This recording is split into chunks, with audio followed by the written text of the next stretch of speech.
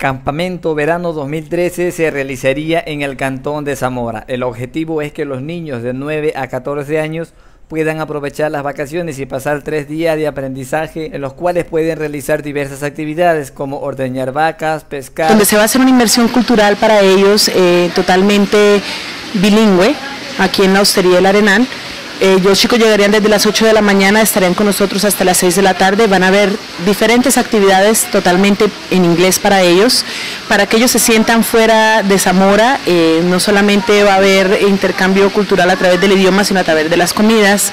Y van a ser una cosa muy divertida para ellos porque van a aprender acerca de la importancia de aprender un segundo idioma. Los niños sería ideal de 9 a 14 años. Eh, pensamos tener dos grupos, los chicos de 9 a 12 y los chicos de 12 a 14 años. Asimismo, Linda Gómez se refiere a las diversas actividades que se realizarían en los tres días de campamento que se desarrollarán en la hostería El Arenal del Cantón de Zamora. Las actividades que se van a realizar van a ser talleres en inglés, películas en inglés. Los chicos van a aprender a comer a través de un servicio de buffet que es algo que también es nuevo también para, los niños.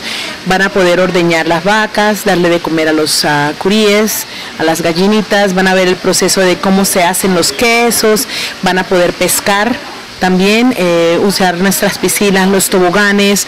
Vamos a tener cocina creativa, le vamos a hacer una especie de instrucción en inglés. De esta manera se desarrollaría el primer campamento verano 2013 en el Arenal. El objetivo es que los niños puedan aprender un segundo idioma, el inglés, que hoy por hoy es considerado como uno de los idiomas principales del mundo entero. Para el informativo Visión reporta Jonathan Samaniego.